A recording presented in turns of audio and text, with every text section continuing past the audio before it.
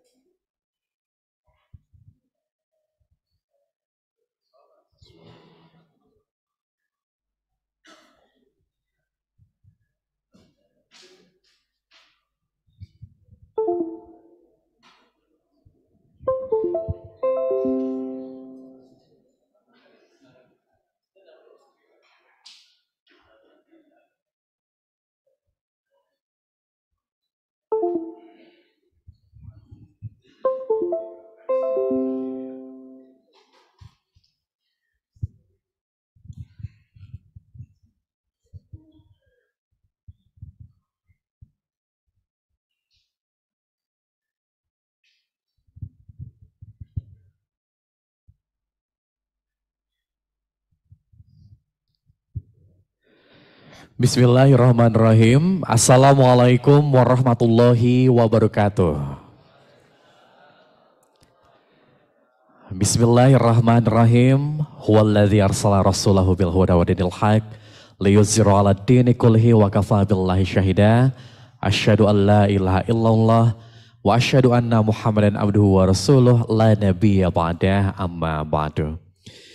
Good morning, ladies and gentlemen. Welcome to the public lecture of Graduate School of UIN Jakarta with the theme Human Rights Council Resolution and the Spirit to Fight Against Intolerance and Violence Based on Religion.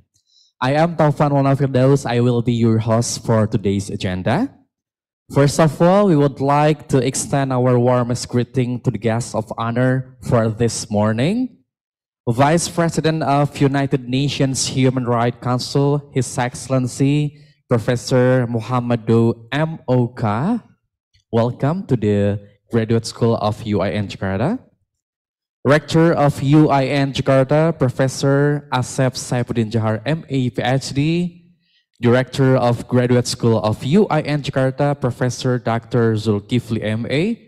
Vice Rector, Vice Director, Head of Bureau, distinguished guests, delegates, ladies and gentlemen. Thank you for accepting the invitation to be with us here. Thank you for joining the program. Today we are very fortunate to have the Vice President of United Nations to share their thoughts. So let me introduce the Vice President of Human Rights Council, and let's give a round of applause for him. Step on to the following agenda. We would like to invite all of us to singing the, the national anthem of the Republic of Indonesia, Indonesia Raya. Ladies and gentlemen, please raise.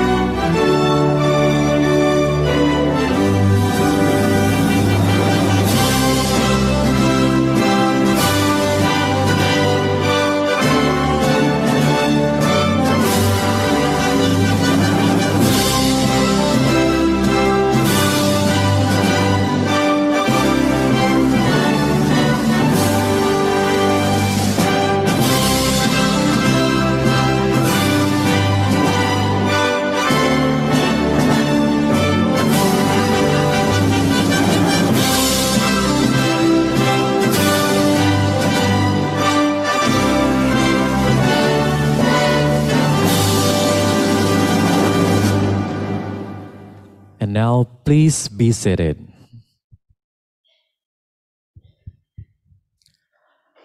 Excellency, distinguished guests, delegates, ladies and gentlemen, we would like to invite to deliver his speech Rector of UIN Sharif Hidayatullah Jakarta, Professor Asep Saifuddin Jahar, MA, PhD. Bismillahirrahmanirrahim. Assalamualaikum warahmatullahi wabarakatuh. His Excellency Professor Muhammadu, Vice President of United Nations Human Rights Council, thank you very much for your coming to our university. And Prof, I always call Mbak Eni, so I forget Rohaini Juhayatin from President, Staff President and all delegates from President Staff, our Vice Rector, Prof. Din Wahid, and also Director of School of Graduate School, and all audience. Thank you very much for your coming and attending this meeting and this public lecture. And also, first of all, I would like to extend my gratitude for this uh, public uh, program, especially Bu Ruhaini Dzuhayatin, who already facilitated this program. She who already uh, called me to have this meeting in order to uh, welcome our great uh, guests and distinguished guest, Prof. Muhammadu. And of course, I'm as a lecturer, as a rector, State Islamic University, very grateful to have this public lecture, and we hope we can share our knowledge and experience. How about the human right uh, in terms of tolerance and also intolerant in Indonesia in the world. So again, I welcome and thank you very much for this program. I will not uh, prolong my speaking, our time is very tight. So again, I will uh, share and give the opportunity for the moderator to have this meeting. Thank you very much. Assalamualaikum warahmatullahi wabarakatuh. Waalaikumsalam warahmatullahi wabarakatuh. Thank you, Rector of UIN Jakarta. Ladies and gentlemen, it is our honor to have the Vice President of United Nations Human Rights Council, His Excellency Professor Muhammadu M.O.K. And in this session, he will share their, uh, his thoughts to all of us. And in this session, we'll be guided by our moderator, Professor Dr. Siti Rohaini Zuhayatin MA. So without any further ado, we would like to invite our moderator, Professor Dr. Siti Rohaini Zuhayatin MA, to lead the discussion. Time is yours. Thank you very much, uh, brother. Uh, Assalamualaikum warahmatullahi wabarakatuh. Uh, Excellency uh, Professor Ahmadu Oka and also um, yang terhormat Bapak Rektor, Bapak Ketua, uh, the uh, the Director of uh, Postgraduate Studies uh, UIN Syarif Hidayatullah. So I'm very careful in saying that because it's usually it's mixed up with Sunan Kalijaga. and also the vice president, uh, uh, vice rectors, uh, deans, and colleagues uh, from uh, UIN uh, Syarif Hidayatullah. Uh, we are very honored this morning uh, to come to this um, uh. Uh, Professor uh, Excellency, this is actually one of the oldest Islamic uh, university in Indonesia. One is here in Jakarta, was, one is in Jogja. Hopefully next in the next visit you will be able to also visit Yogyakarta. Yeah. Um, this morning um, uh, we are uh, again we are grateful to uh, have uh, Excellency Professor Ahmadu, Muhammadu uh, as our special guest to the international event on plurilateral Jakarta Plurilateral Dialogue 2023 in here in Jakarta. And uh, uh, of course, um, I thought that it would be also very uh, uh, beneficial and also very worth to take the uh, him uh, to visit this campus. So um, his visit to Indonesia is related uh, again uh, to our promotion and our um, our advocacy uh, for the implementation of resolutions. Human Rights Council United Nations Human Rights Council Resolution 1618, um, which um, uh, relates uh, to uh, combating intolerance, uh, negative stereotyping, incitement to violence, and violence against person based uh, on religion and faith. So this resolution is very crucial because this resolution uh, is adopted by consensus uh, by their uh, UN member states, including Indonesia. And more than that, that uh, this resolution uh, uh, was uh, in fact promoted by the OIC, Organization of Islamic Cooperation, which consists of 57 countries, including Indonesia and Gambia, what uh, uh, Ambassador uh, Professor Ahmadu is coming uh, from, and it is also co-sponsored by uh, United States. So this resolution is very unique because this is co-sponsored between the OIC and the United States. And uh, we hope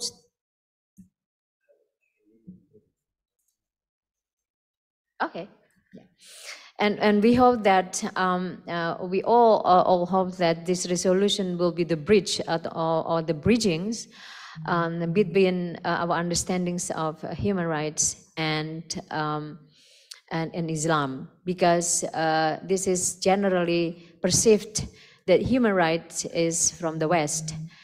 And um, it is why then uh, we uh, very uh, thankful and very uh, grateful and very hopeful that uh, the presence of uh, Excellency uh, Professor uh, Ahmadu will refresh our pers perspectives in seeing human rights as um, deeply rooted in Islam. So um, we hope that his um, presentation will deepening our understandings that um, when we are talking about uh, uh, UN UN human rights uh, declaration, uh, declaration and convention and mechanism, this is not from the West. This is from United Nations, where uh, Indonesia is the member, Gambia is the member, Saudi Arabia is the member. Uh, and uh, of course, his visit is very important because um, UIN is the central, as the core institution that um, uh, uh, that uh, has the very instrumental roles in our society in um, nurturing the understandings of of Islam. Uh, realizing that uh, in the recent uh, years we experienced also the polarizations and the instrumentalization of religious identity, which potentially divides our society. So we hope that uh, his visit and his uh, speech and the presentation will give uh, uh um, their uh, new perspective understandings. And we as uh, the member of society and also the leaders of the society will also convey this to the Ayu community. So I think um, this is my um, very short remarks um, preceding the uh, presentations uh, of uh, Professor, Excellency Professor uh, Ahmaduko uh, Oka. So thank you very much. Assalamualaikum warahmatullahi wabarakatuh. Waalaikumsalam warahmatullahi wabarakatuh. Thank you Professor Dr. Siti Ruhaini Dzuhayatin MA for your welcoming speech. And now we would like to invite Mrs. Mutiara Pertiwi PhD. This is your time to lead the discussion for this public lecture. Please welcome Ibu Mutiara Pertiwi PhD. Thank you. Thank you for the kind introduction, Pak Taufan. Um, Bismillahirrahmanirrahim. Assalamualaikum warahmatullahi wabarakatuh. Alhamdulillahirrabbilalamin, wassalatu wassalamu ala asrafil anbiya wal mursalin, wa ala alihi ajmain amma ba'du. Good morning and welcome everyone.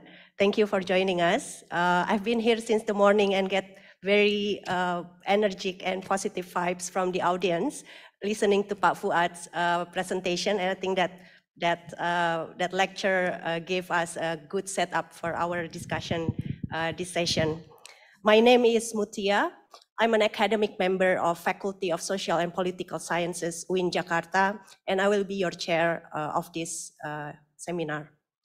Uh, first, uh, let me start this session with uh, some expressions of uh, gratitude. We are honored to have among us Rector of UIN Jakarta, Professor Asep Saifuddin Jahar, MA, PhD, and also the Director of um, Graduate School UIN Jakarta, Professor Zulkifli Professor Dr. Zulkifli MA, um, also Vice Director and chairs of, uh, sorry, Vice Rector and also Vice, uh, Vice uh, Director of Graduate School, chairs of Master and Doctoral Degree programs of Graduate School. Thank you for convening this event.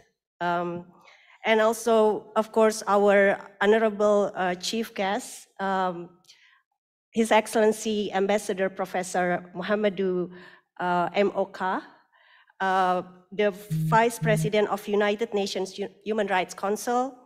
Um, we are very honored by your visit, sir, and uh, sharing this uh, stage with you. It's, it's a very privilege for us.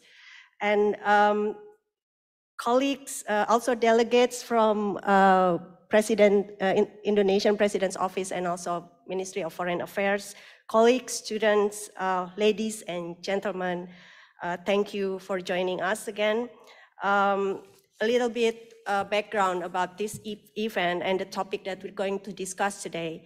Last week, on the 22nd of August, uh, the world observed International Day commemorating the victims of acts of violence based on religion or belief. Freedom or freedom of religion or belief is human rights recognized by the Charter of the United Nations and also international treaties. However, we notice that the violation of religious freedom, particularly in the form of harassment, even in the form of oppression against religious minority groups, are still normalized in many societies, including ours.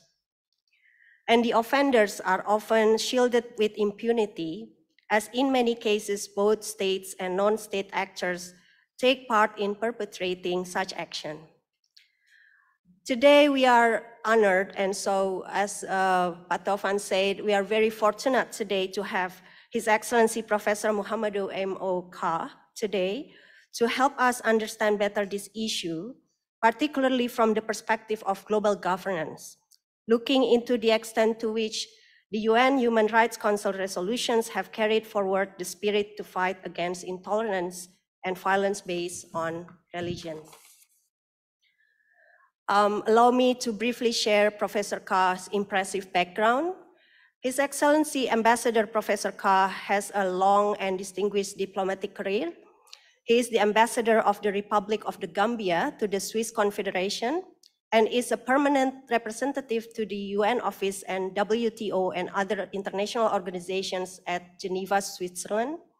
Professor Kah has served several prominent positions in different international organizations, universities, and business communities. And currently, Professor Kah is the chairman of the Africa Group of Ambassadors in Geneva, and also the vice president representing Africa for the United Nations Human Rights Council, which is why we are in such privilege today to have him as a speaker today on the topic of human rights council resolutions, and the spirit to fight against intolerance and violence based on religion. His Excellency Professor Kah will deliver his presentations maybe uh, for 30 and or 40 minutes, if if you're convenient, sir. And then we will proceed with Q&A uh, session. So without further, further ado, uh, with, uh, with great honor and pleasure, Professor Kah, the time and place is yours.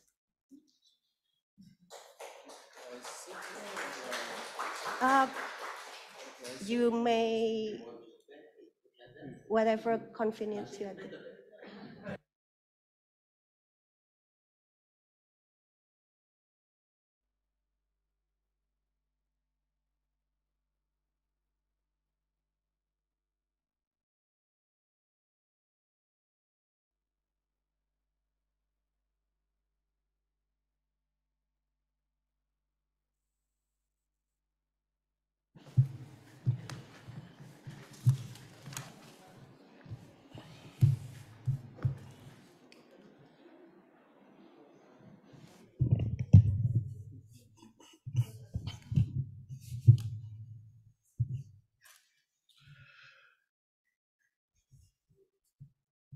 بسم الله الرحمن الرحيم الحمد لله إن الحمد لله نحمده ونستعينه ونستغفره ونعوذ بالله من شرور أنفسنا ومن سيئات أعمالنا من يضل الله فلا مضل له ومن يضل فلا هادي له Respected brothers and sisters, Assalamu alaikum and good morning.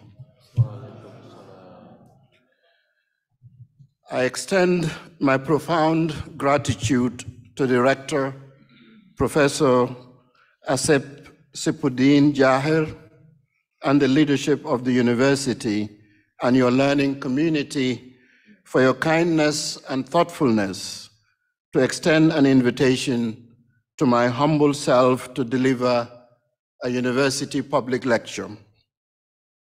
I am delighted and honored to be here at the State Islamic University here at Jakarta. I also convey my appreciation to my sister, Professor Siti Ruhaini, and the leadership and team of organizers of the recently held conference here at Jakarta on the theme strengthening the culture of tolerance by mainstreaming the United Nations Human Rights Council Resolution 1618. Perhaps some of you were um, at the event the past two days. It was quite illuminating, insightful, and enlightening and timely. I must thank again my sister for the foresight and for the thoughtfulness of the leadership of this country for putting such an important event, and I hope there will be many, many more to further enlighten our collective humanity. Let me also take the opportunity to convey greetings from His Excellency, the President of the Gambia, Mr. Adama Barrow, the peoples and government of the Republic of the Gambia, and my brothers and sisters at our embassy to Switzerland and the permanent mission of the United Nations organizations in Geneva, and my colleagues, the President of the United Nations Human Rights Council, and my other colleague, vice presidents from other regions. I'm deeply honored to sit before you on this distinguished occasion to share some thoughts, very modest perspectives on a topic that I decided to disrupt a little bit since we've been talking about Resolution 1618. But I thought yesterday night that I will put some thoughts on what I call standing for human rights in everyday life, which embodies the implementation of the Resolution 1618, which is a collective responsibility for all of us. It's a very important resolution. So therefore, I decided that I will engage you on a journey on what it means to stand for human rights in our everyday lives. Brothers and sisters, we must stand up for the promotion and protection of human rights across the world. As we are all aware, human rights are the basic rights and freedoms that are entitled to every person, regardless of their race, gender, religion, or nationality. These rights include the rights to life, liberty, and security of persons, the right to education, work, and healthcare, and the right to freedom of expression, association, and religion, among others. Unfortunately, human rights are often violated in various ways, including discrimination, abuse, and exploitation. For example, individuals may face discrimination based on their race, gender, religious, or political affiliation, leading to unequal treatment and opportunities. They may also be subjected to physical, sexual, or emotional abuse or be exploited for the labor or resources. So, standing up for human rights as the topic of my discussion entails is an essential responsibility for everyone as it ensures that all individuals, wherever they may be, and whatever their situation, are treated with dignity and respect. This issue is particularly important in everyday life as human rights violations can occur in various settings, including schools, universities, workplaces, and communities. Standing for human rights in everyday life, therefore, is crucial to creating a more equal and just society. It means actively speaking out against discrimination and injustice and taking action to support marginalized groups. This can involve challenging harmful policies and practices, supporting social movements, and advocating for your rights and the rights of others. It also means recognizing and acknowledging your own privileges and using them to amplify the voices of those who are often silenced.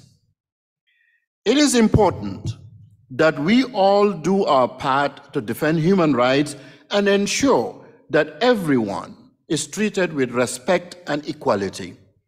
We cannot remain silent when human rights are being violated. It is our duty to stand up and speak out against injustice and to walk towards a world where every person is treated with dignity and respect. Individuals like you and I have a responsibility to stand up for human rights in our everyday lives. This can be as simple as speaking out against discriminatory or abusive behaviors or taking action to support marginalized groups, this responsibility is equally extended to states as they also have a role to play in standing up for human rights. As aptly said by a non Muslim, late Archbishop Desmond Tutu, most of you know who he is, a prominent global figure of faith. And I quote, if you are neutral in situation of injustice, you have chosen the side of the oppressor. Quoted. Governments should ensure that all citizens have access to basic human rights such as education, healthcare, and fair treatment under the law. States should also work to address and prevent human rights abuses within their borders and hold perpetrators accountable for their actions. This speaks to Resolution 1618. One way individuals and states can work together to stand up for human rights is through advocacy and activism and supporting organizations that work to promote human rights. Ultimately, standing up for human rights requires a commitment to justice and equality for all people, regardless of their backgrounds or circumstances. By working together, individuals and states can create a more just and equitable society for all. Recognizing the importance of standing up for human rights by all, we can individually stand up for the rights of others by doing very simple things. One, educate yourself. What do I mean by that? Learn about human rights and ensures that affect marginalized communities. This can help you understand the challenges that these individuals face and how you can support them. I was hugely fascinated by the work that my sister, Dr. Siti Rohan, is doing with her colleagues on human rights literacy, working with teachers who are going to influence and impact lives to educate so that they can be more enlightened at a very early age. Secondly, speak out. When I say speak out, use your voice to raise awareness about human rights issues and advocate for change. Be the change you want to see. This can include participating in peaceful protests if need be, or demonstrations, writing letters or articles, or using social media, which is increasingly being used in negative ways, but can certainly be used in positive ways to enlighten and to amplify the voices of the marginalized communities. Three, you can also support organizations that are working on these issues, especially organizations that are working towards implementing Resolution 1618. How do you do that? Donate your time or resources, like my sister, Professor Siti, is donating her time thinking pedagogically to construct reasonable and practical, innovative ways to reach out to those that shape future generations, which promotes human rights. These organizations often provide legal support, education, and other services to individuals who have experienced human rights violations. Fourthly, stand up for others. If you witness a human rights violation act, this can include intervening if it is safe to do so, or seeking help from authorities or organizations that can provide support. By standing up for human rights in everyday life, we can create a tolerant, pluralist, more just, and equal society for all the people. As we gather here at the State Islamic University here at Jakarta, I cannot help but reflect somberly on the 75th anniversary of the Universal Declaration of Human Rights. Dr. Siti Ruhaini mentioned the Universal Declaration of Human Rights. This year is its 75th year. So as I prepare these thoughts, I can't help but reflect upon the journey. This landmark declaration, born from the ashes of a devastating world war, continued to serve as a beacon for humanity. It is not for one region of the world or for the North or for Europe or for America. It's for all humanity. It enshrines the fundamental principles of human rights, that is the Universal Declaration of Human Rights, which I say it enshrines the fundamental principles of human rights, justice, and dignity for all. That's in essence the Universal Declaration of the Human Rights. However, despite these noble intentions, we find ourselves grappling with an increasingly polarizing world where divisions and conflicts seem to overshadow our shared humanity.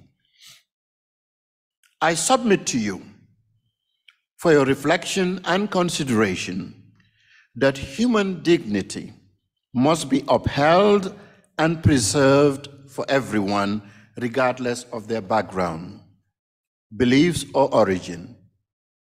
Today, I sit here to emphasize that human dignity is not merely an abstract concept or a replacement of human rights.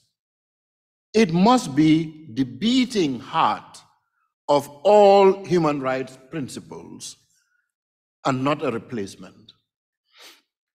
Our commitment to human rights will be empty, superficial, and a mirage if it does not recognize, respect, and situate its core and inherent dignity of every individual everywhere.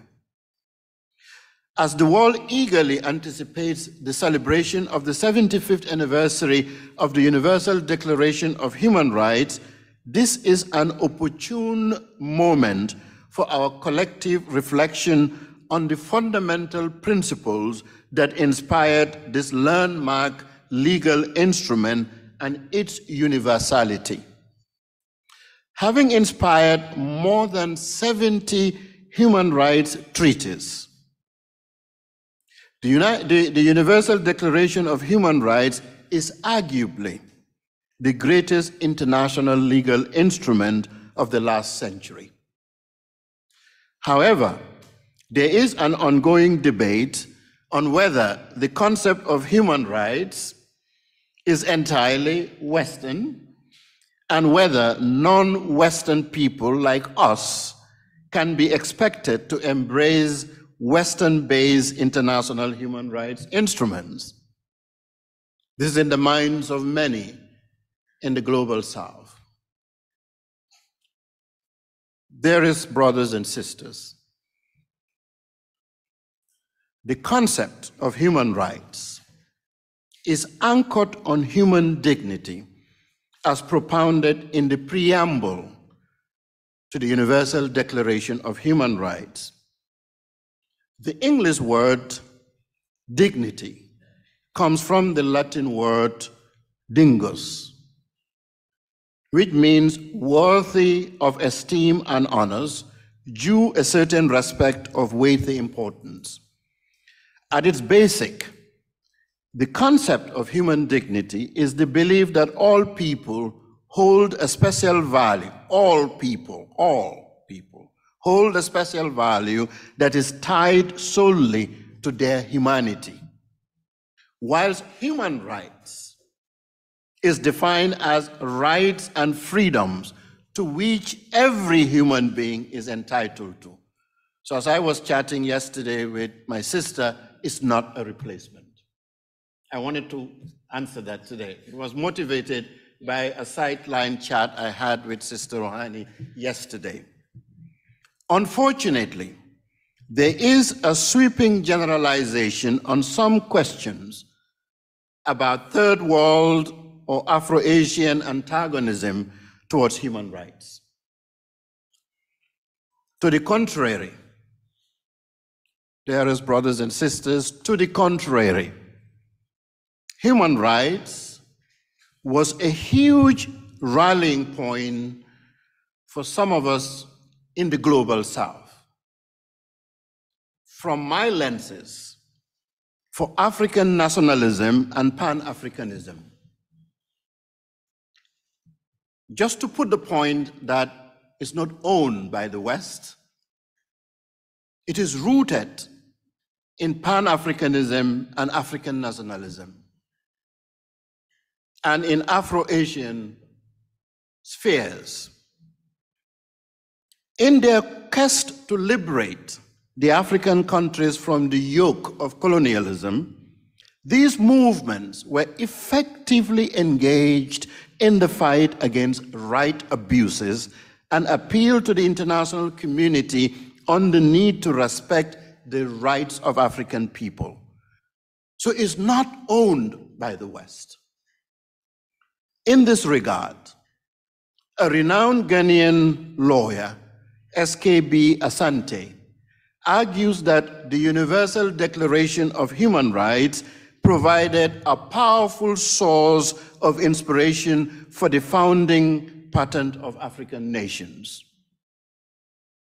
In the context of African and Islamic perspectives on human dignity, we must acknowledge the rich tapestry of cultural, religious, and philosophical traditions that have long emphasized the sanctity of human life and the dignity of every human being.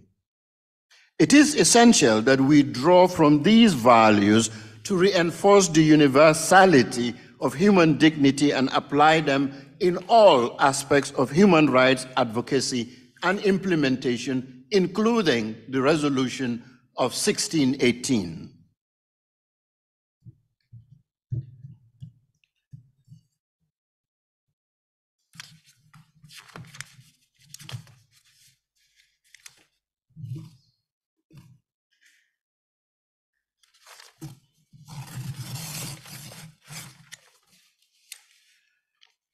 In fact, as far back as August 1977, my country, the Gambia, I am from the Gambia, barely 12 years after its independence from the United Kingdom, displayed bold leadership of the global human rights movement by submitting a memorandum to the Commonwealth Law Ministers meeting in Winnipeg, Canada, to create a Commonwealth Human Rights Commission. The memorandum cited the 1971 Declaration of Commonwealth Principles on Individual Rights, Democratic Practices, and Human Dignity and Equality.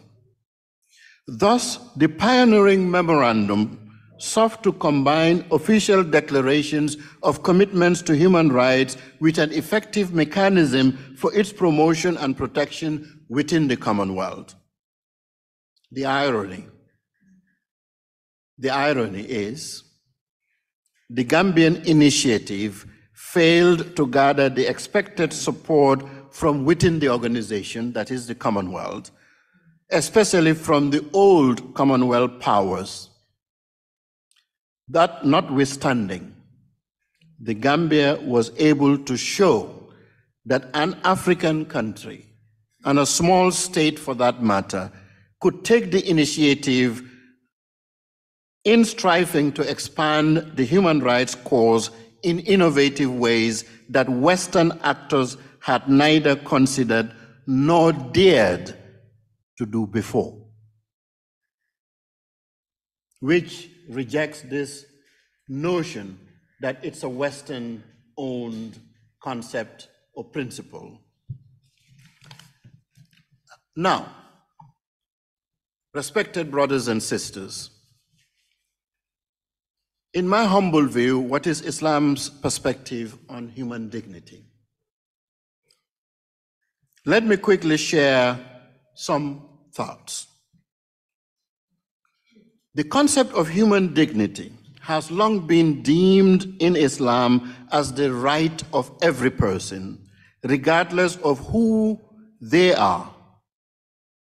By simply being, simply being, a person deserves to be respected, to be dignified, and to be given certain rights. Our religion, Islam, as a religion, does not deny the natural instincts and emotions in a human being.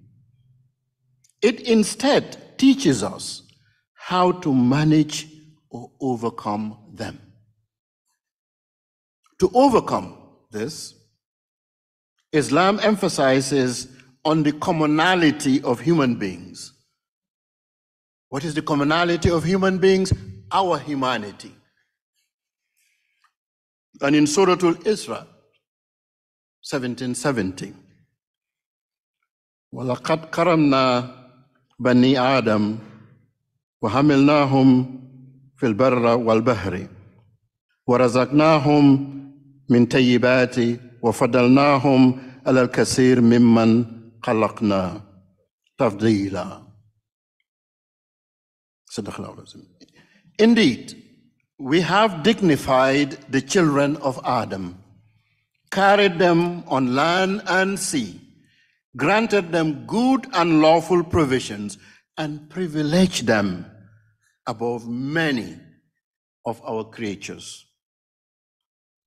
According to our Holy Quran researchers, it can be said that this above mentioned verse is the most important explicit verse on human dignity and its derivative, which is human rights. It is important to note that the word honor is used within the phrase descendants of Adam without association with one specific group, which signifies the oneness of humanity. In the light of human dignity, it is not through any personal attributes that a person is honored. Rather, it is because of the fact that what they are humans. According to Al-Alusi, 1270, 1854, everyone and all members of humanity, including the pious and the sinner, are endowed with dignity, nobility, and honors, which cannot be exclusively expounded and identified. Ibn Abbas, the companion of the Holy Prophet Muhammad sallallahu alaihi wasallam, famed for his Quranic exegesis, has commented, however, that Allah subhanahu wa ta'ala has honored mankind by endowing him with the faculty of reason. The concept of human dignity in Islam is also seen in a treaty that our Holy Prophet sallallahu wasallam partook before his prophethood, which is the Hilf al-Fudul, which translates to the League of the Virtues, written up after the mistreatment of a Yemeni merchant. The treaty promised to uphold justice for all who were oppressed in Mecca, regardless of their status and background. During his prophethood, our Prophet wasallam still acknowledged the validity and value of the treaty, saying it was more beloved to me than a herd of red camels. And if I were called to it now in the time of Islam, I would respond. Through this treaty, we see Islam following a set of principles and morals that are grounded in practicality and protection of the rights and dignity of people. Dignity is not earned by meritorious conduct, it is an expression of God's favor and grace. Mustafa al Siba, Al Hassan Al Il also remarked that dignity is a proven right of every human being, regardless of color, race, or religion. Another scholar, Ahmad Yusri, has drawn that dignity is established for every human being as of the moment of birth. Elsewhere, Sayyid Qutb highlighted that dignity is the natural right of every individual and that the children of Adam have been honored not for their personal attributes or status in society, but for the fact that they are human beings.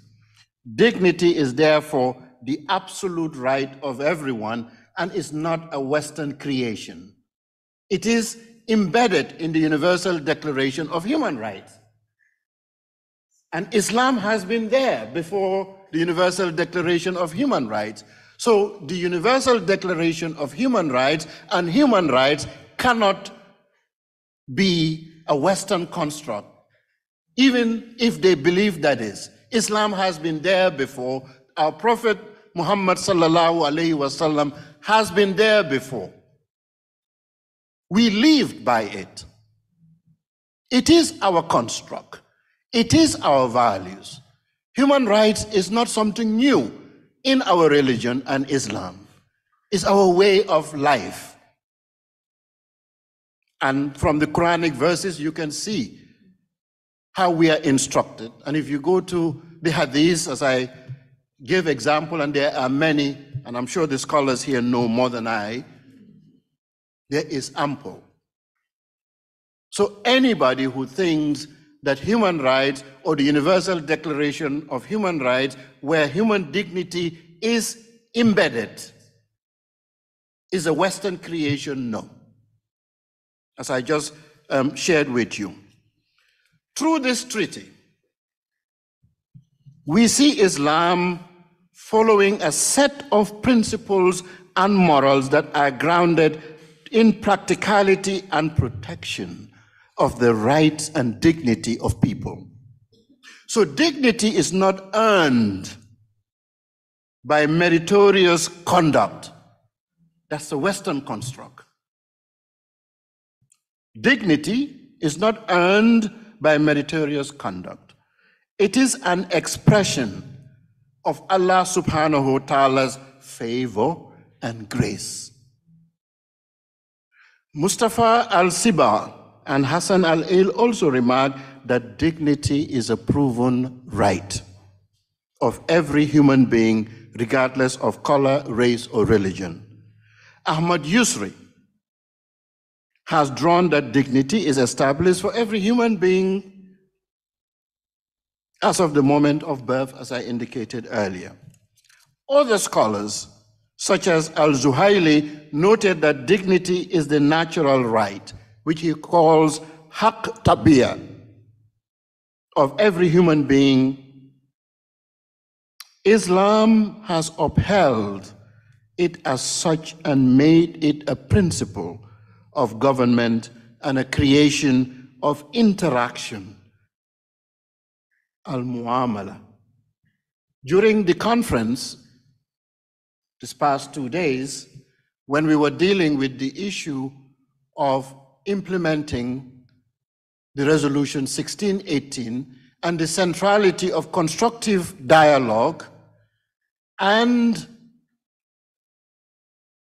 active listening, of responsibility, of respect. It's not very different from this muamala. We must reach out to engage and muamala among people. It's not permissible. Our values doesn't allow us to violate the personal dignity of anyone as Muslims. This cannot, this cannot be something new. It's been within our religion.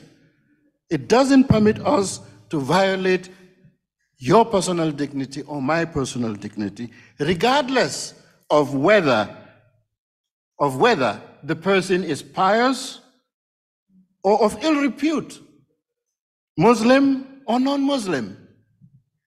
Even a criminal is entitled to dignified treatment. For punishment, punishment is meant to be for retribution and reform, not dignity and humiliation. In addition to the references from Quranic texts, references are also drawn from the Hadiths. An incident where our Prophet wasallam saw a funeral procession passing by. Upon seeing it, he rose in respect and remained standing until one of his companions informed him that the diseased person was a Jew.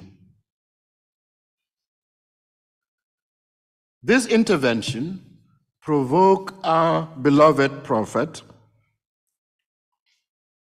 to disapprove as he posed the question was not was he not a human being the prophet in other words did not consider the religion or the religious following of the diseased person to have any bearing on his inherent dignity, which called for unqualified respect. Brothers and sisters, what a profound display of meaningful tolerance by our beloved Prophet Muhammad sallallahu alaihi wasallam. The dignity of man is manifested in his freedom of conscience moral autonomy, and judgment.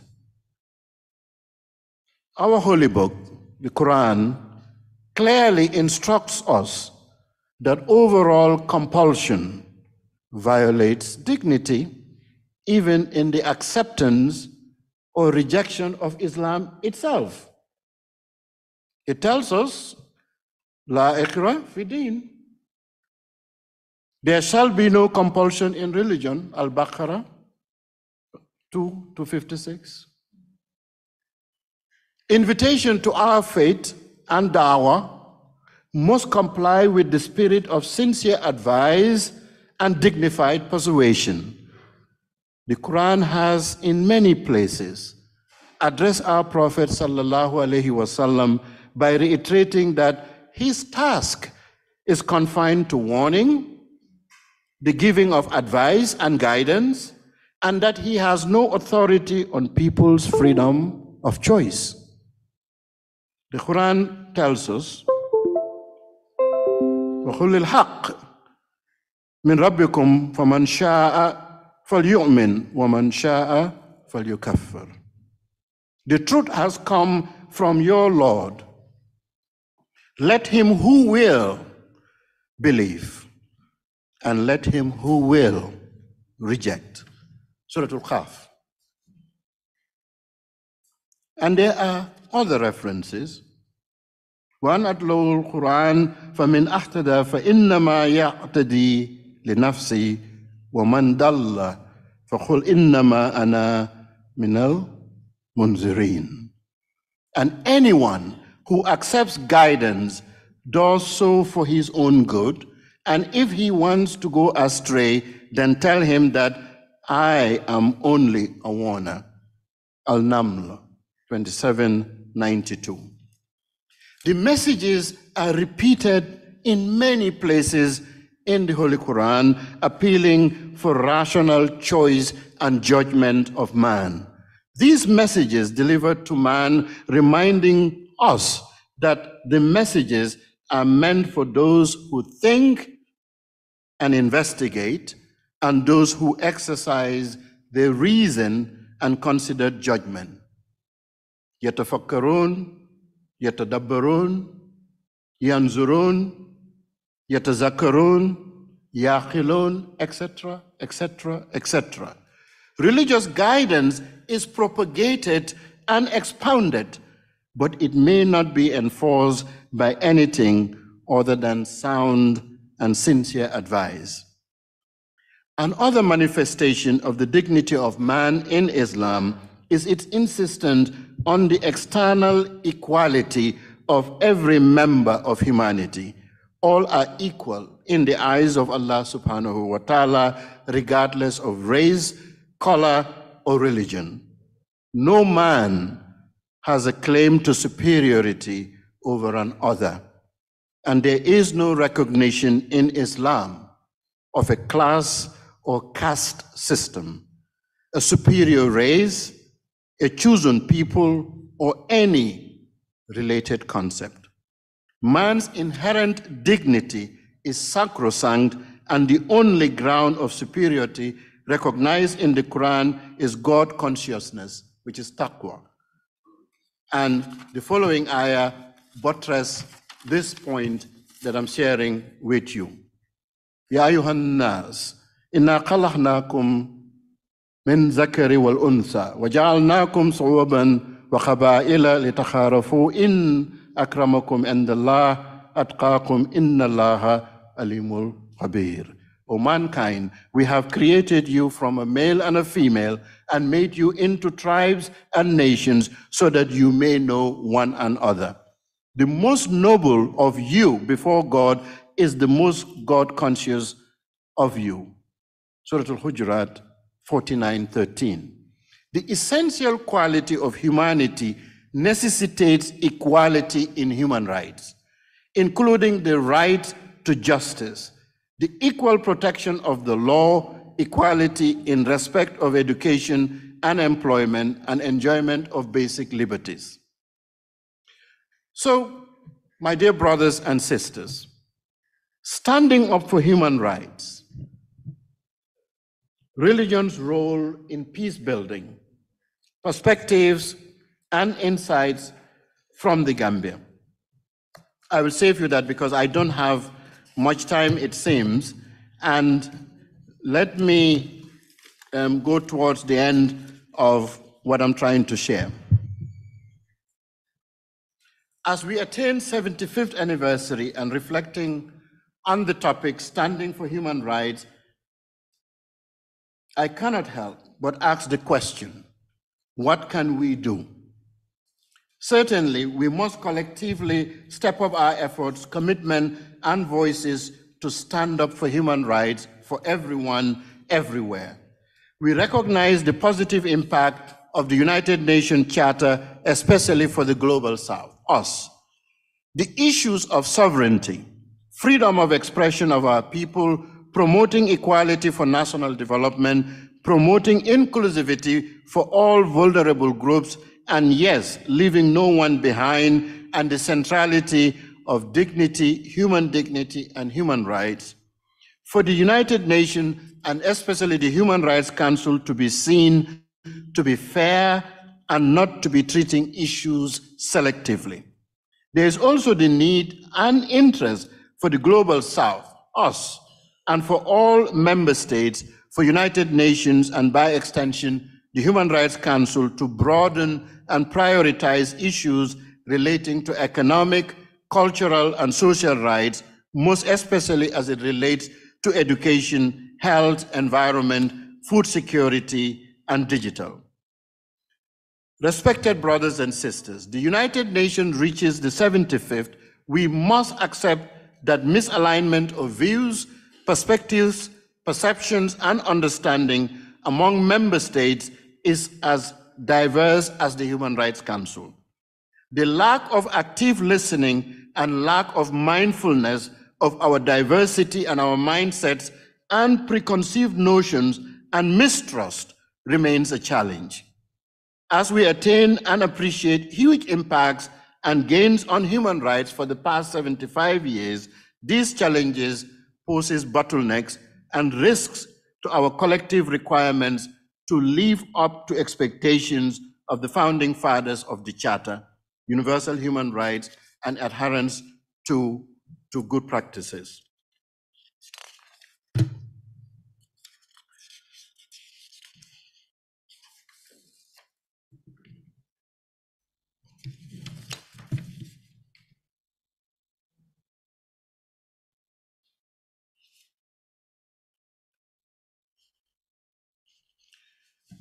What seems to be emerging at this juncture in the 75 years journey of human rights is a widening gap between the global south and the north, with each holding on to a different understanding and perspectives of the Universal Declaration of Human Rights.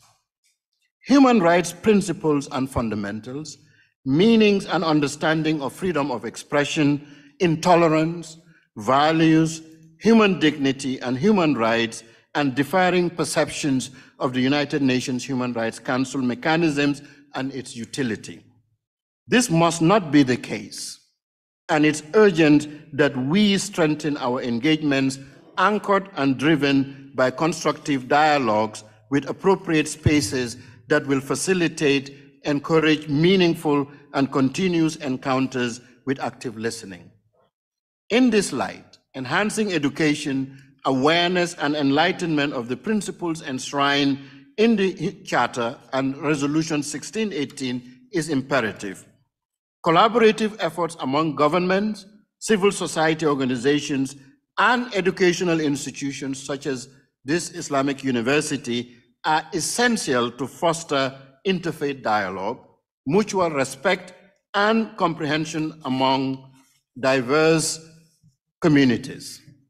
The nurturing of an environment that nurtures tolerance and inclusivity forms a robust foundation for the successful and meaningful implementation of Resolution 1618. In light of Indonesia's prominent role with the Organization of Islamic Conference, it is crucial to consider the perspective of the Organization of Islamic Conference on Resolution 1618. The Organization of Islamic Conference, representing 57 member states and over 1.9 billion Muslims globally, places high importance on combating religious intolerance and discrimination. The OIC has consistently endorsed the resolution's goals as a means to foster peaceful coexistence among diverse religious communities and to promote understanding between cultures. I cannot leave you without referencing the recent burning of the Holy Quran, which I'm sure it is in the minds of all Muslims. At 75th of the Universal Declaration, it is with a heavy heart that over 1.5 billion Muslims continue to be subjected to intolerance and violation of the UN Resolution 1618 by the continuing burning of the Holy Quran, and capitals of northern countries with continuing attempts to justify such acts under the cloak of freedom of expression. Let us be clear. True freedom of expression must never be a license for hate, for intolerance, or the destruction of sacred texts, whether it is the Holy Quran or any other. Instead, it should serve as a platform for constructive dialogue, understanding, and mutual respect among diverse communities. In the wake of multiple burnings and desecration of copies of the Quran in certain European capitals, including the recent high profile Quran burning in front of a mosque in Sweden and Denmark, allowed by the police, the human rights dimension of issues has attracted the attention of the United Nations Human Rights Council and the General Assembly. Even though 193 uh, General Assembly members adopted a consensus resolution deploring the acts direct against the holy books as a violation of international law. The Human Rights Council, on the other hand, in Geneva, was split in its vote, with Western countries voting against the resolution sponsored by Pakistan on behalf of the OIC on the pretext of freedom of expression of the perpetrators. Muslim leaders around the world have stressed that such desecrations are intended to be provocative and cannot be covered by freedom of expression laws. One of the reasons behind such act as the, as the, as the perpetrator's inability to acknowledge differences as if concerns that those who are different from them are seen as threats to their way of life and their interests. The decision to incorrectly focus on each other's differences and act upon this irrational and myopic understanding is against the teachings of Islam. One of the ways we can correct these misperceptions is through the emphasis of what Islam teaches through the Quran and Hadith about human dignity that I shared. The fundamental lessons to draw from the above example and the vote at the Human Rights Council is that the more human rights appear to be a political battleground than a moral question, the less likely a consensus can be reached to actualize human rights of all peoples, regardless of gender, race, or religious belief. We must acknowledge that freedom of expression, while a fundamental right, is not absolute. It comes with the responsibility to use our words and expressions in a manner that uplifts, unites, and foster understanding rather than perpetuating divisions and hurt. As we strive for open and inclusive societies, let us remember that respect for one another's beliefs, sacred texts, and places of worship is not a limitation of freedom, rather, it's a testament of our commitment to human dignity for everyone and everywhere. Let us leave here with a renewed dedication to promoting tolerance and pluralism and human dignity for all, transcending borders, cultures, and faiths. Let us continue to engage in meaningful and continuous conversation, dialogues, collaborations that foster empathy, human fraternity, encounters guided by mutual respect, constructive dialogue, understanding, compassion, and conviction. We can build a better world where human dignity is not just a slogan, a rhetoric, or an ideal, but a lived reality, an ethos of every individual, society, everywhere. These recent events, such as the unfortunate burning of the Quran in certain instances, underscores the urgent need for the global community to address acts that fuel religious hatred and incitement. Let me conclude.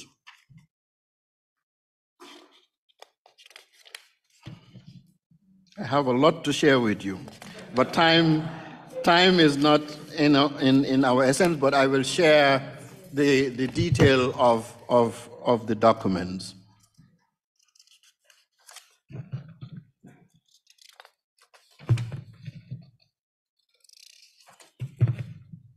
Let me conclude.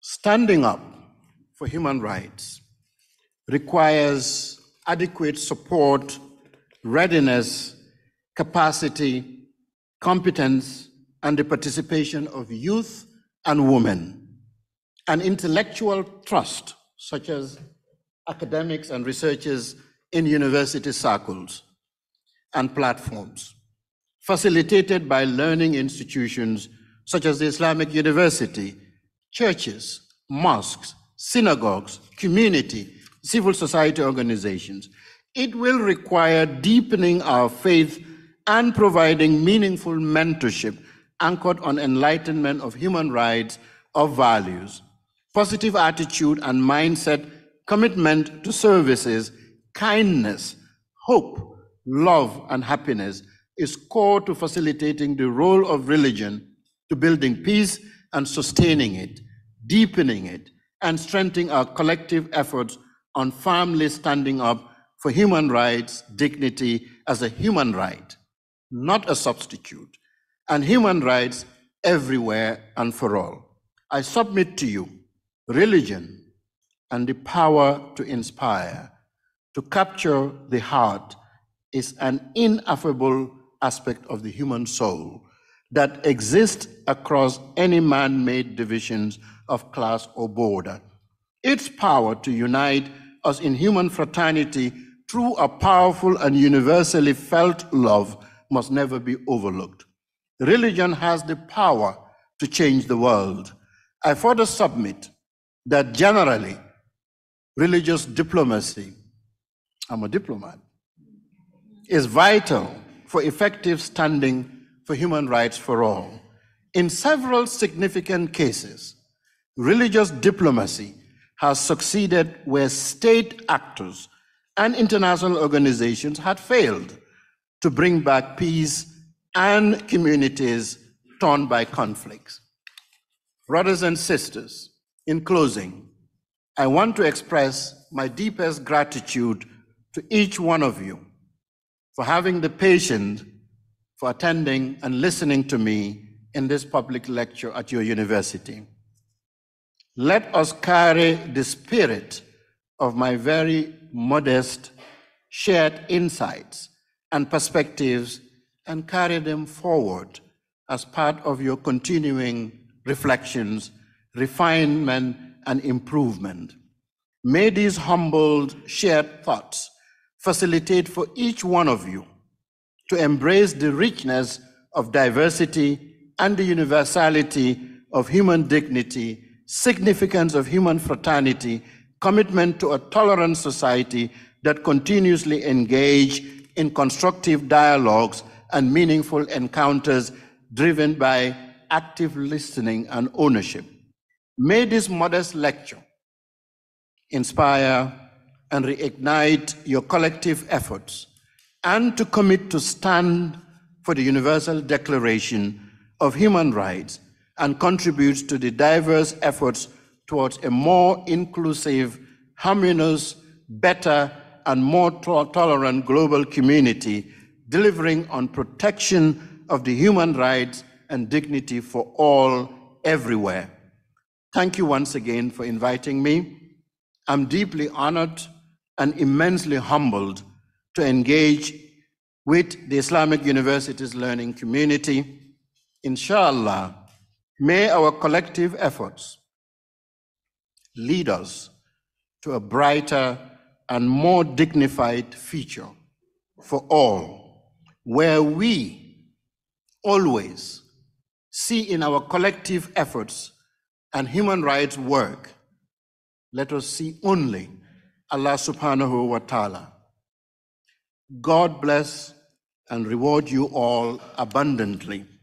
Assalamu alaikum wa rahmatullah wa barakatuhu. Wassalam.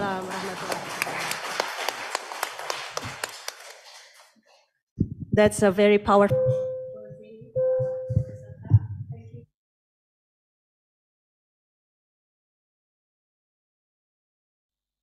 Uh, university rector for uh, leaving earlier because he has another agenda and he sent uh, he sent his uh, best wishes for your stay in Jakarta. I hope you enjoy your visit and product, have a productive visit.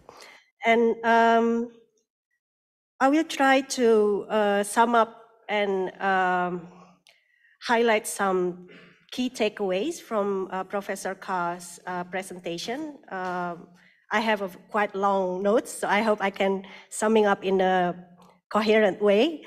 Uh, but I think uh, Professor Kah began with a very powerful message as well, that it's important to standing for human rights, not only in rhetorics and not only when we are encountering it directly, the issue directly, but also we need to uh, exercise uh, human rights uh, respect in everyday lives. And uh, he also um, identified some uh, methods to implement that idea is uh, first is to educate ourselves to speak up and be the change that we want to be and also we can also uh, support human rights by supporting organizations that uh, are doing protection and also advocacy. Um, regarding uh, the relationship uh, regarding the topic of uh, Islam and uh, human rights, Professor Kah also highlights that the idea of respect to human di dignity does not contradict to our values in Islam. Uh, in Islam, in Holy, the Holy Quran and also the treaties during the Rasulullah time, uh, also uh, already um, resonates respect to uh, human dignity, the equal respect to human dignity, that mentioned in many uh, texts that uh, the rights of every person is equal and by simply be and uh, yeah, and uh, there is the commonality of uh, human being that we call humanity. And um, related to his work with the UN Human Rights Council, he also uh, highlighted that um, the Islamic community and particularly the country members of uh, Organization of Islamic uh, Cooperation need to respect um, need to respect and act according to the uh, UN resolutions uh, 1618. Uh, um, as uh, the resolution is coherent with uh, Islamic values, with the message of the Holy Quran to respect uh, diversity and against violence based violence based on religion. and last but not least, he also highlight that um, now I cannot read my own notes.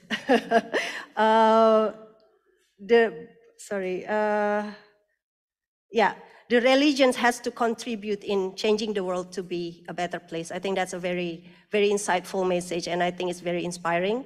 Uh, maybe uh, we now uh, move forward to the Q and A session. Uh, I will open the session for three people in the in the first round, and then we'll see if we still have time to have another session. I will collect the question uh, for now and later maybe Professor Kah could respond to them uh, at a time.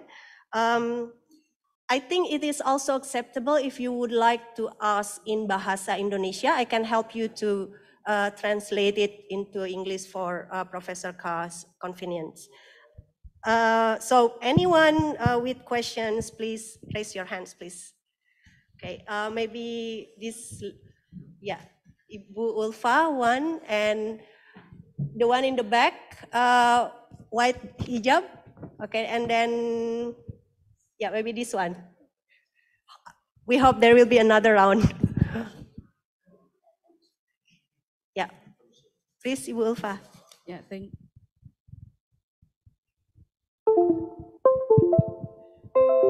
Uh, thank you very much. Uh, Mutia, moderator, my excellency to the director of Pasca Sarjana Win Jakarta, and my excellency to Professor Muhammadu, uh, Vice President of United Nations Human Rights Council.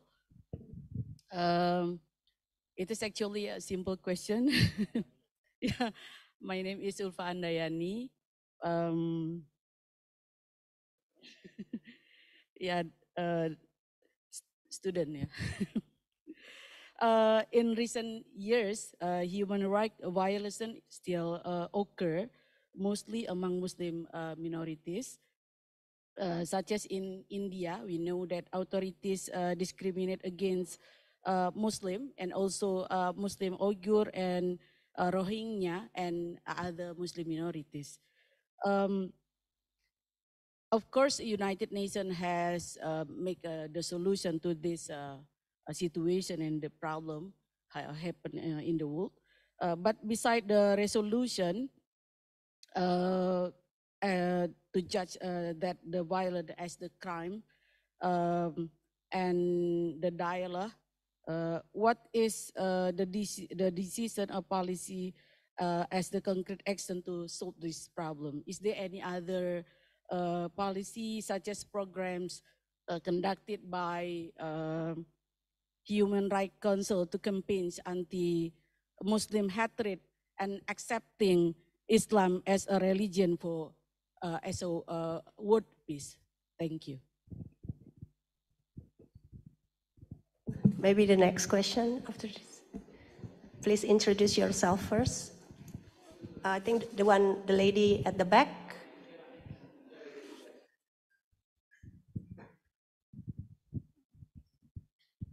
Assalamualaikum warahmatullahi wabarakatuh. Introduce myself, my name is Anissa Lukharia. I student of master program, graduate school in Syarif Hidayatullah Jakarta. In my opinion, the, issue of intolerance is so warm to discuss. Coincidentally, that my thesis uh, also discuss uh, marginalized group in Indonesia called by Shia. As long as I research the group, I try to in, to enter and be the part of it group. I also share my activities with the group in on my social media. But the lot of many friends, even they are academic person, their response real, really surprised me. Someone even blocked my social media. I I think I try to be a changer of mindset. That uh, I've tried to be changer mindset. Uh, partner, uh, menurut saya, uh, mohon maaf saya bahasa Indonesia susah sekali ngomong bahasa Inggrisnya. Jadi begini, uh, pada dasarnya kita hidup di dalam kelompok yang mayoritas, di mana mayoritas ini selalu menindas yang minoritas. Seperti di Indonesia ini kelompok yang mayoritas adalah Sunni. Dan itu men, uh, menurut saya masih banyak sekali perlakuan-perlakuan intoleransi terhadap kelompok minoritas. Seperti kelompok yang sedang saya teliti yakni kelompok Syiah yang ada di Indonesia. Dan menurut saya pattern ini itu terjadi di mana pun bahwa kelompok mayoritas akan selalu um, menindas yang minoritas. Tadi saya mencoba untuk menjadi seorang uh, changer seperti yang katanya Prof. Muhammadu tadi untuk menjadi seorang pengubah gitu kan. Cuman ternyata menurut saya itu tetap sama saja gitu dengan adanya pattern yang seperti ini di mana pun gitu. Bagaimana menurut Prof terhadap keadaan yang demikian? Apakah kita seorang pengubah yang hanya segelintir ini bisa mengubah kebanyakan orang? Gitu, terima kasih. Assalamualaikum warahmatullahi wabarakatuh. Uh, thank you. I will try to translate the questions for, for uh, Professor. Uh, so the question was asking about uh, how to um, how to respond to the a lot of intolerant um, manners in, around us in everyday lives. Uh, in Indonesia, we, uh, for example, we um, encounter cases the um, discrimination against Shia Muslim, uh, and Professor Zulkifli here is the expert of Shia Muslim. Um, and I, I, also believe in uh, in your country, in Gambia, uh, there is a Ahmadiyya community is also considered as the minority uh, group of Muslim, which is also in uh, our country here in Indonesia, they face also a lot of uh, discrimination uh, issue. And uh, the question of uh, our student is that um, how to, how to, as an individual and as a nobody, how to respond to this kind of um, injustice, this kind of discrimination when we see it in, during our everyday life, and how can we still contribute to change? Yeah, maybe that's the second question. We still have one more question to go. so yeah, the last question for this round, please introduce yourself first. Ya, Bismillahirrahmanirrahim. Assalamualaikum warahmatullahi wabarakatuh. Uh, my name is Muhammad Amin. I am from a new student in doctoral program in postgraduate study in UIN Syarif Hidayatullah Jakarta. Uh, my question is uh, one of the issue that uh, related with uh, human right uh, that happened in Indonesia, in Indonesia and also happened in FIFA World Cup 2022 is LGBT, I think that. Uh, my question is what the United Nations Human Rights Council view perspective of, or principle about this issue, LGBT and its rejection, and, uh, and in related to the Quranic verses that strictly prohibited this such a behavior, uh, as Allah said at Al-A'raf, verse number 81, uh, innakum lata'tuna rijala shahwatan min dunin nisa.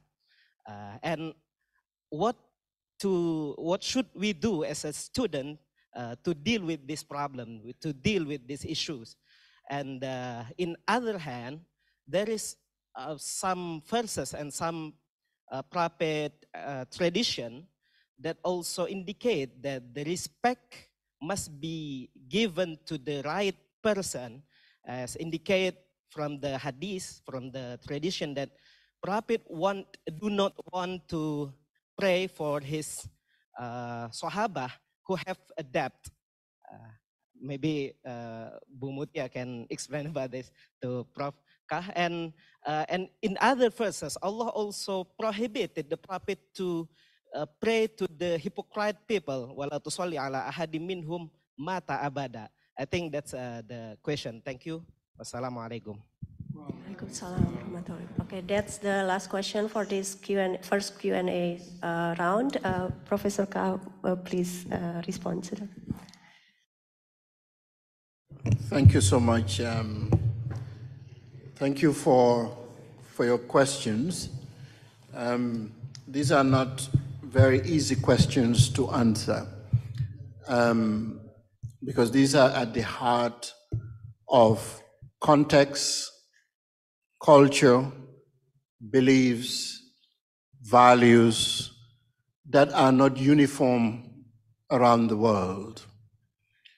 Uh, the United Nations Human Rights Council is consists of member states. So it's not an abstract concept.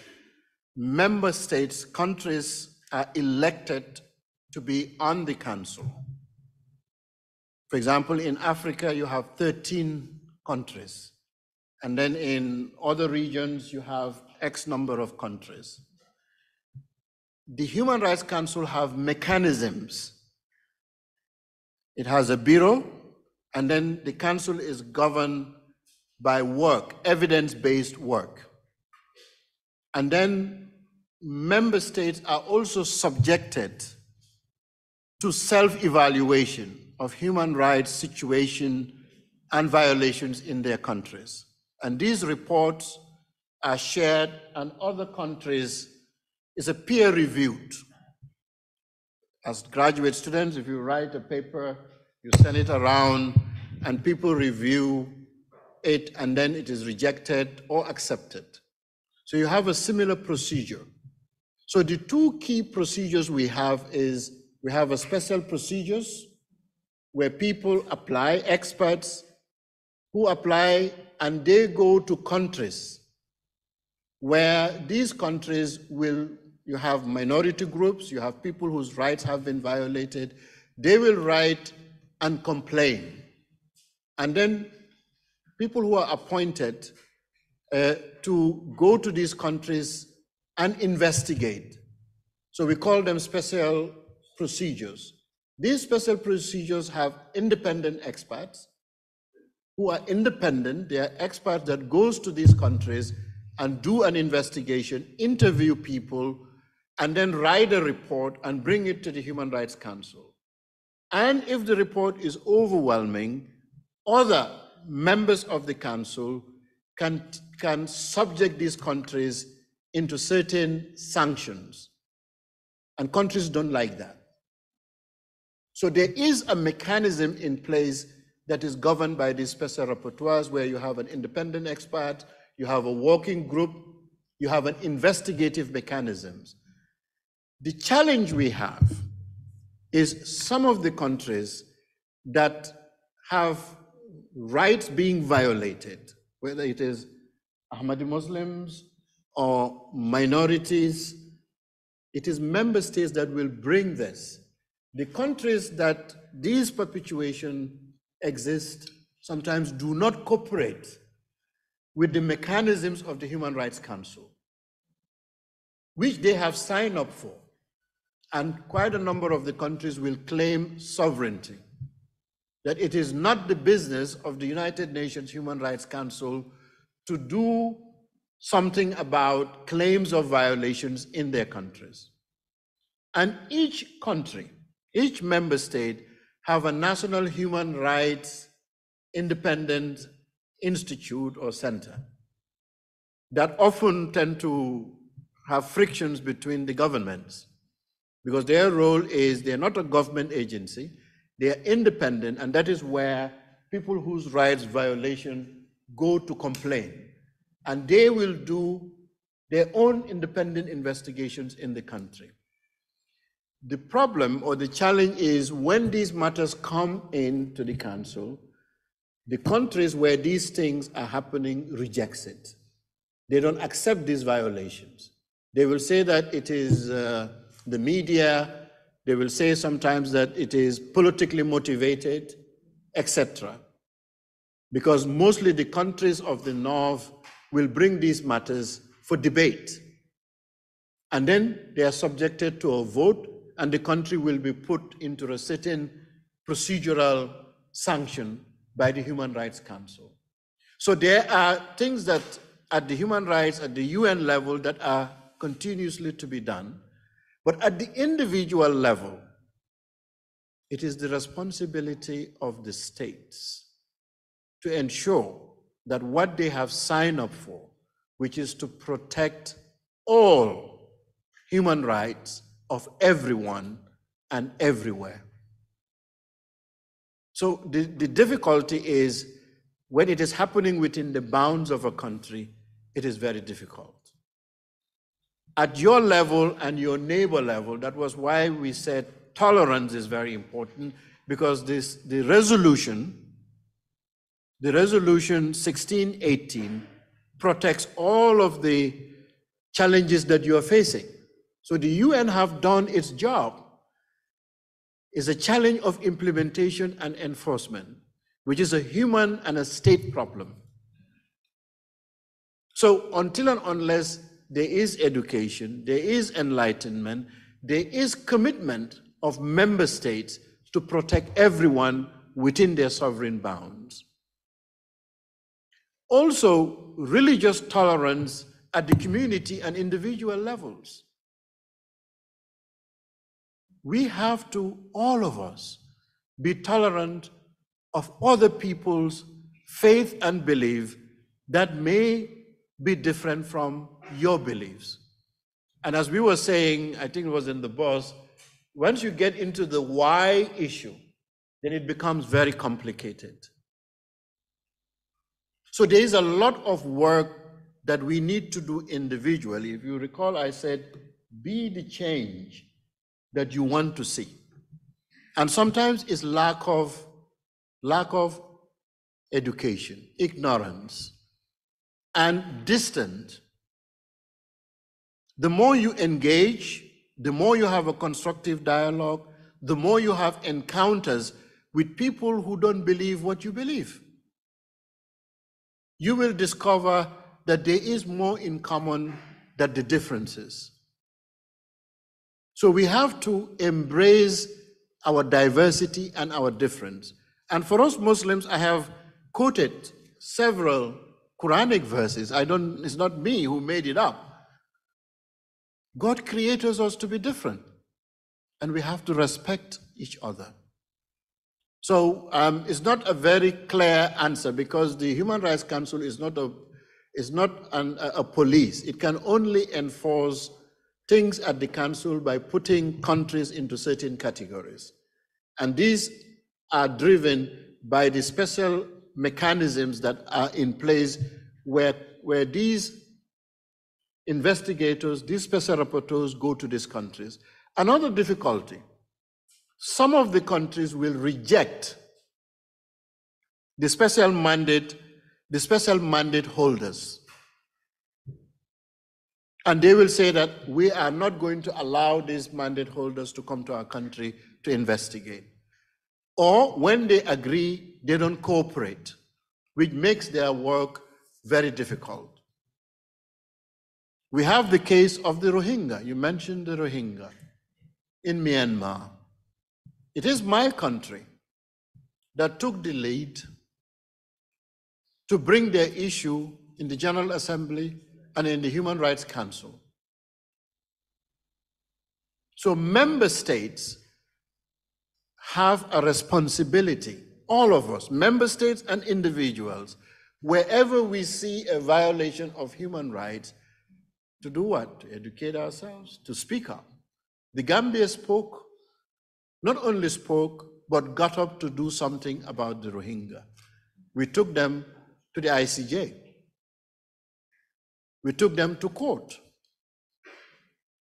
We want the global community and the international law to apply on the violations of the Rohingya crisis as minority groups. And the last case was a few months ago where it was ruled in favor of the Gambia to proceed to the next stage of prosecution. Gambia is a very small country with very limited resources, but our principles and values of the importance of protecting human rights for all and enforcing Resolution 1618 to ensure that even if we are different, even if we don't believe in the same thing, we all have a responsibility to protect the right of those people to worship, freedom of religion. We signed, we signed up for it. So if all member states at the country level keep each other in check to ensure that we tolerate and we don't violate and we adhere to the dignity of people, we will have less challenges. The Rohingya crisis is very unfortunate, and the world is not doing what it is supposed to do to ensure that we put an end to it. The Gambia is not very different from uh, Indonesia in terms of advocating for tolerance and freedom of worship and belief. We have Ahmadi Muslims in the Gambia and they are protected. We have Christians, different domination of Christians. Is a, is a dominant Muslim country. We are 90% Muslims, but we live in peace and harmony. During their religious celebration, there are uh, members of our faith who believe that we shouldn't talk to anybody who doesn't subscribe to our faith, that talking to them is evil, we don't subscribe to that. There are hadiths and many instances where the Prophet sallallahu alaihi wasallam engage constructively and have encounters with Jews and Christians. One of the, one of the narrations is when a group of Christians came to Masjid al-Nabawi and they were allowed to be in the mosque. And some people complained to ask them out. He says, no. So individually, we have a responsibility. At the community level, we have a responsibility. At the state level, we have a responsibility.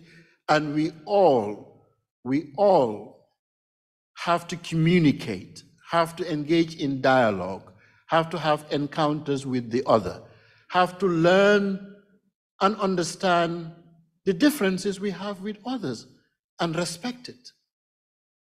And if you are violated at the personal level, it's, it's, it's unfortunate. Reach out to support groups. There are Muslims and other faiths or other denominations within our faith who have tolerance, who will not treat you otherwise. So I hope that makes sense, but it's not a very simple answer. It's a very complicated answer. And the Human Rights Council is not an army or a police. It has mechanisms and it is a member driven organizations. The other point that was raised is one of the biggest challenges we have in the Human Rights Council, which is the LGBTQ. All members of the OIC, Indonesia and the Gambia, have issues to accept resolutions on LGBTQ. But we cannot stop other countries who have different values, even if they are corrupted values that our religion doesn't accept. We are very limited in what we can do to stop them from advocating for LGBTQs. What we can do is when they come to the Human Rights Council to ask for support to vote to make it a unanimous resolution like 1618, we members of the OIC and non-members of the OIC whose values are not what that community believes in, vote no.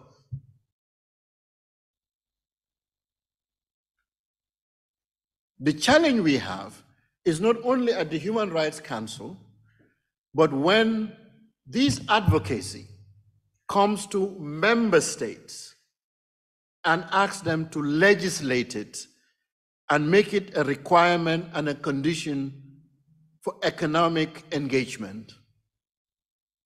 This is the trend that is happening. So there is no clear answer because these are different values that others have. We, it is very clear what our religion said about these things. And the Universal Declaration of Human Rights says we have to protect humanity, lives. The question is, as communities in today's world, are we going to kill them? Are we going to deny them uh, their right to live, their right for medical health, their right to education? Do we protect them from being harmed? It doesn't mean you believe in what they're propagating. But does it mean that we have to take their lives? This is a question that we are increasingly being faced. But we Muslims have to be mindful that there is an assault on family values. We have to be mindful that we protect the values that have cultural and religious context and anchored in our community. It's a futile exercise if you engage in a debate of a community that believes in something that in their own jurisdiction it is legislated as a law. We can be as angry as we can, but we cannot govern what is happening in their countries to reject it.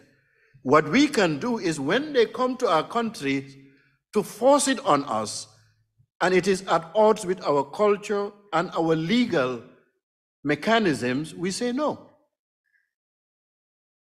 We say no. But they are human beings, and their lives cannot be taken by anybody. That will be intolerance. That will not be Islam. To kill somebody because you don't subscribe to what they believe.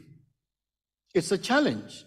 Our, our scriptures are very clear, but others don't.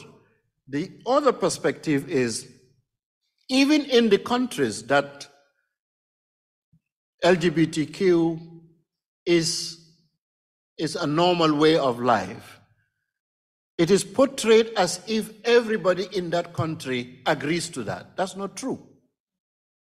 Even in those countries, you have non Muslims who are Christians or other faiths who are conservative and do not support it. And depending on the politics of the day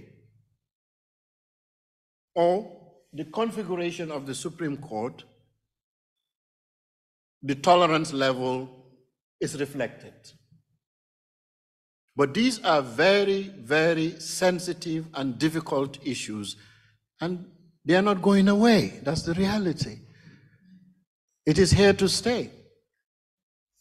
And it's not the first time. This has been happening, if we go to our scriptures, thousands and thousands of years. So let's protect our values. Let's educate our children. Let's educate our communities to protect the values and what our religion says about these. Those who believe in that, let them believe in that. Let us believe in what we believe and let no one change our beliefs.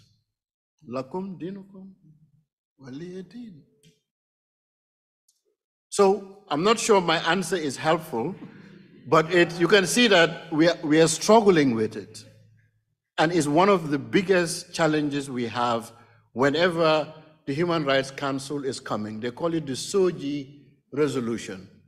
And the proponents and advocates do not shy away from engaging member countries to support the resolution.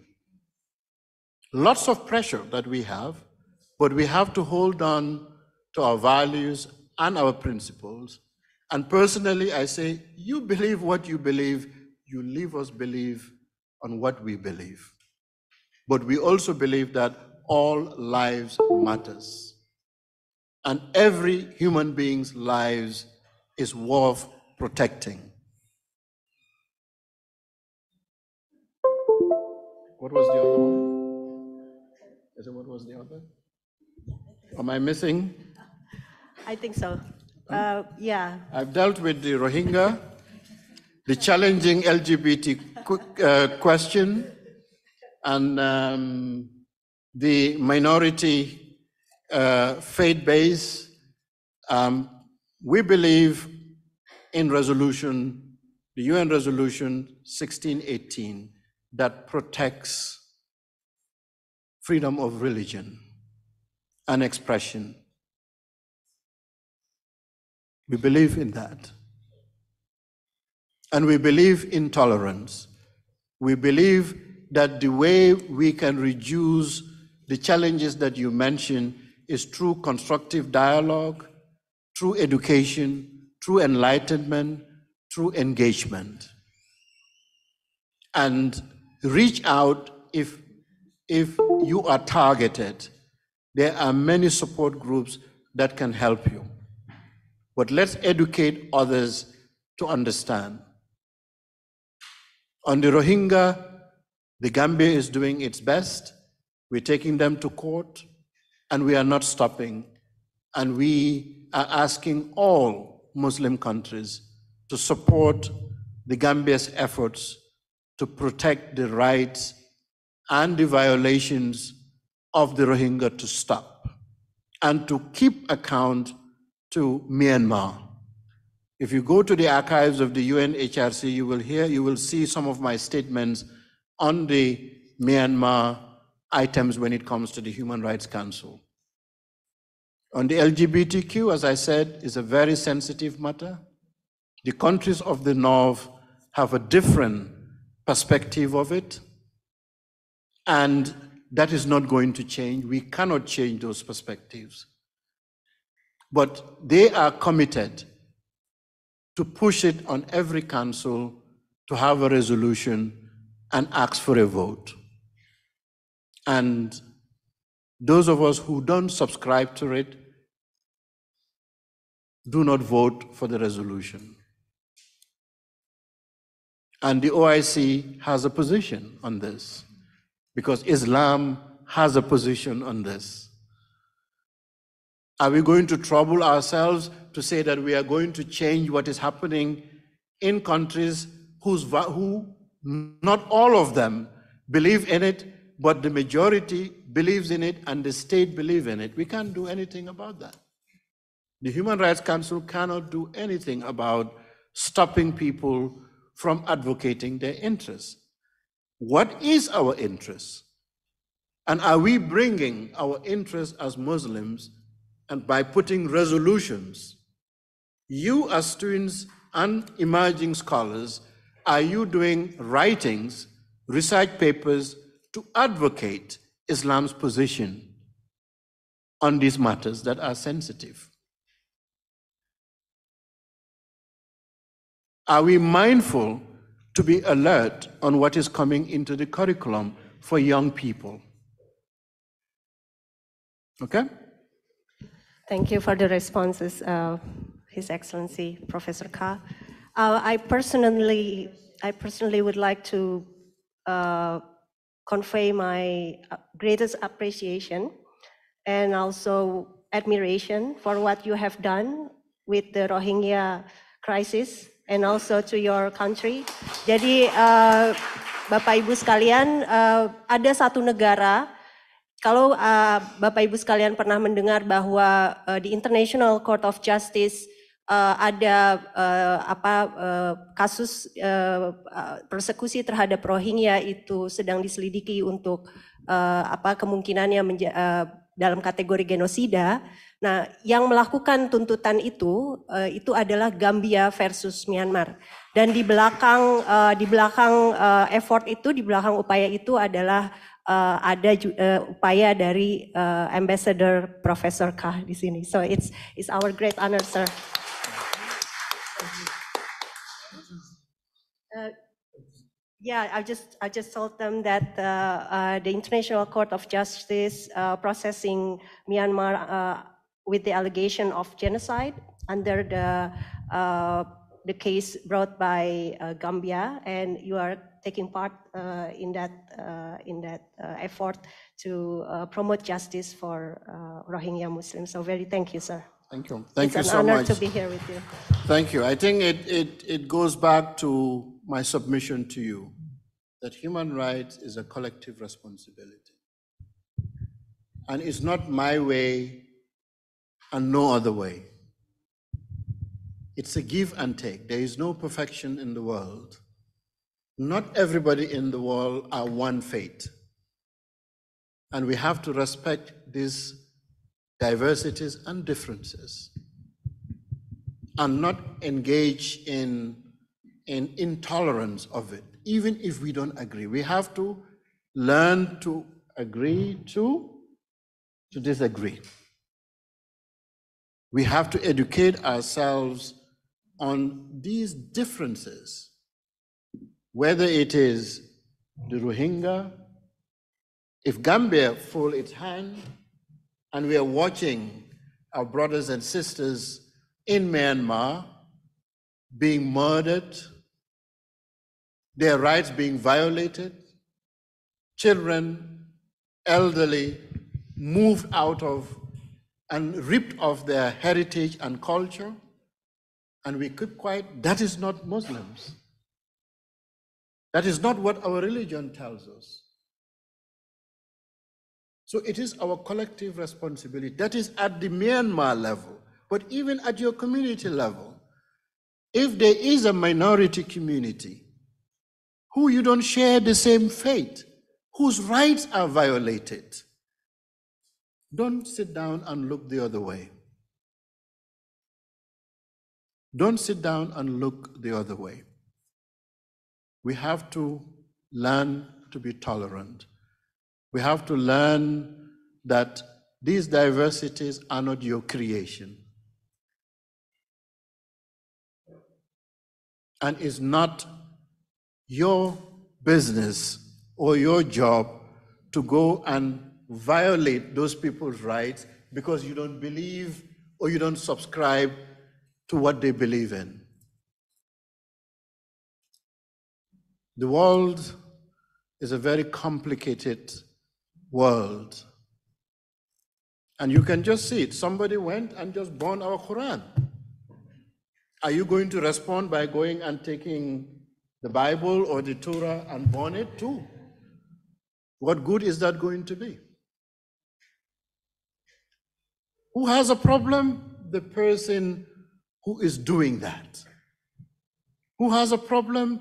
Those who are supporting that person. Freedom of expression is not a carte blanche to violate other people's rights or to incite violence or to disrespect. And if we see somebody planning to burn a place of worship that is not ours, and we can do something about it, we must do something about it. Okay?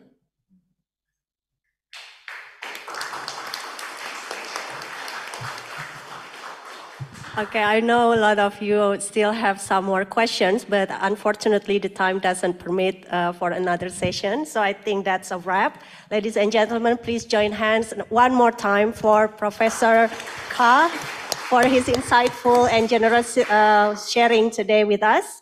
Uh, maybe just for closing, uh, I would like to thank everyone for the productive discussion and participation. I think we touched uh, some of uh, the most difficult questions in uh, this uh, issue. And uh, once again, uh, thank you to the Graduate School in Jakarta for convening and also organizing this event. Um, I would like to close this session by quoting Professor Kah. Um, let's standing, let's stand for human rights in everyday lives and be the change that you want to see. Good afternoon, everyone. Wassalamualaikum warahmatullahi wabarakatuh. Waalaikumsalam warahmatullahi wabarakatuh. Sure. I think uh, I think we still We have will- a little bit yes. ceremonial. uh, we need to do a little bit ceremonial. We will present to you a token of appreciation for the next agenda.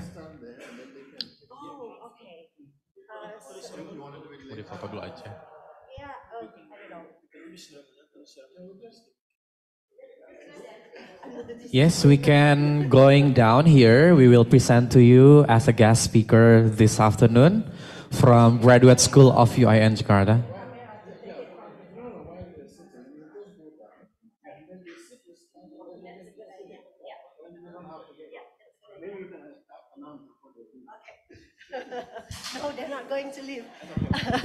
Uh, Bapak Ibu, uh, mohon tetap di tempat. Jadi uh, Profesor K sangat ingin berfoto bersama.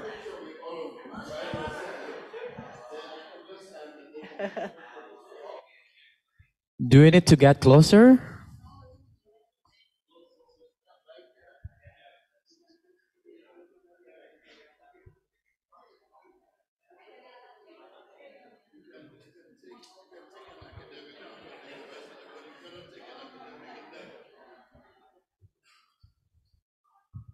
Okay, be ready. We will have a photo session. Oke, please stand up. Mohon berdiri, teman-teman, para audiens, silahkan.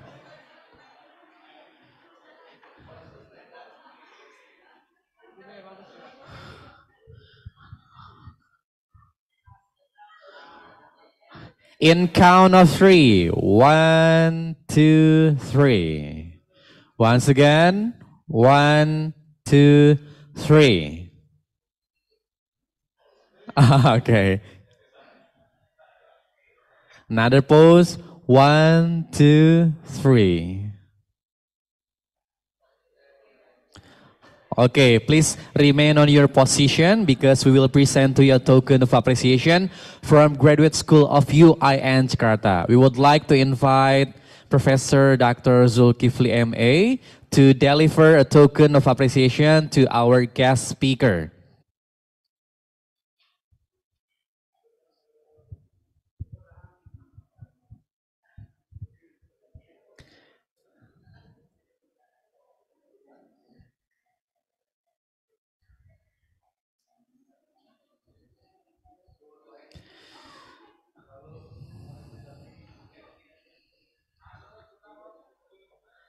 This is a token of appreciation from Graduate School of State Islamic University Jakarta. Will be delivered to our guest speaker, Professor Muhammadu M.O. Kah.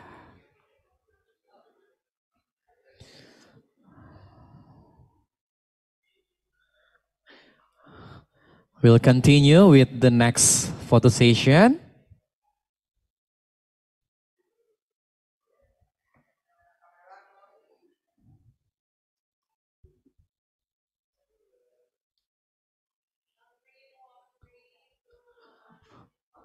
Our moderator, let's join with a photo session with the guest speaker and also director of Graduate School of UIN Jakarta.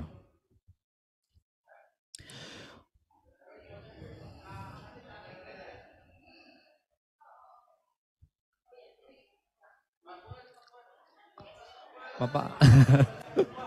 Bapak Fuad silakan. Mr. Fuad Jabali MA. Once again, ladies and gentlemen, please round of applause for Professor Muhammadu for the very insightful presentation. And also thank you very much for Ibu Mutiara Pertiwi PSD for the very dynamic session, Ibu. A round of applause for our moderator.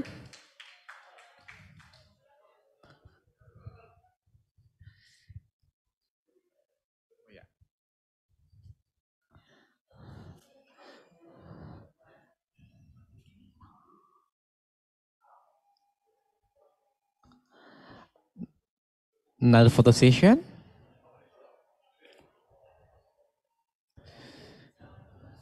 Ladies and gentlemen, we have come to the very end of this public lecture.